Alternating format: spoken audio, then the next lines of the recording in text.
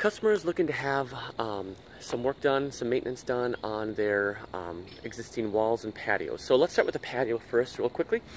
Um, this is a uh, tight joint bluestone patio that was installed a few, um, 10-ish years ago. And uh, not by us. Uh, underneath it is class 5 in sand, and I don't know if you can tell or not, but these outside pieces are dipping down and sliding away. So um, what she wants us to do is come in and basically reset um, basically the last four feet, you know, make it nice and level again. So we'd have to bring in some sand. The material is all here. We just reuse it and, and prop it up exactly where it is. So it's 60 feet from that point over there to that point over there, 60, 60 feet. And um, I'm guessing probably an average of three feet back we'll have to go. Um, it's a couple pieces, so we'll say um, an average of three feet back that we're going to have to um, that we're going to have to adjust. So uh, 60 times three, and then um, we'll probably have to. I mean, I might even cut in a piece there. That's just that's just sloppy, leaving that little nubber piece on the outside. Just use a one by two for goodness sakes. Anyway, um, and then the, she wants um, some uh, a bid for wall repair. So this is the wall that we did. Man, it looks awesome. Great batter. Um, this is the wall that we did um, several years back um, after it had fallen over. Um, this is the wall that uh, she wants repaired. Kind of small, I know.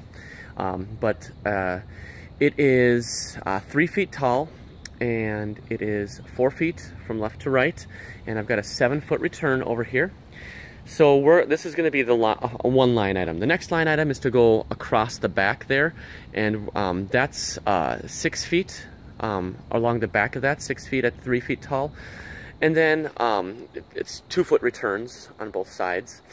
And then uh, as another line item to replace the rest or to take down and to replace the rest of it. So this is uh, beginning to lean forward um, right here. So um, I encouraged her to uh, to do that as well. This is 25 feet, and it's three feet for the bulk of it, but then it gets shorter as it goes up there, and about a 10 foot return on the uh, from there to the house. So.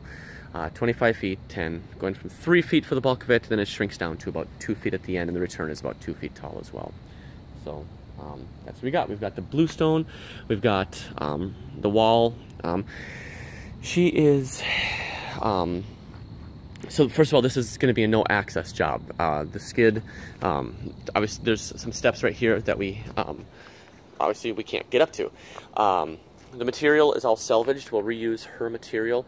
Um, and we'll have to supplement, I'm sure we'll have to supplement some um, just to, to make it uh, to make it work right. So we're going to have to tear it down.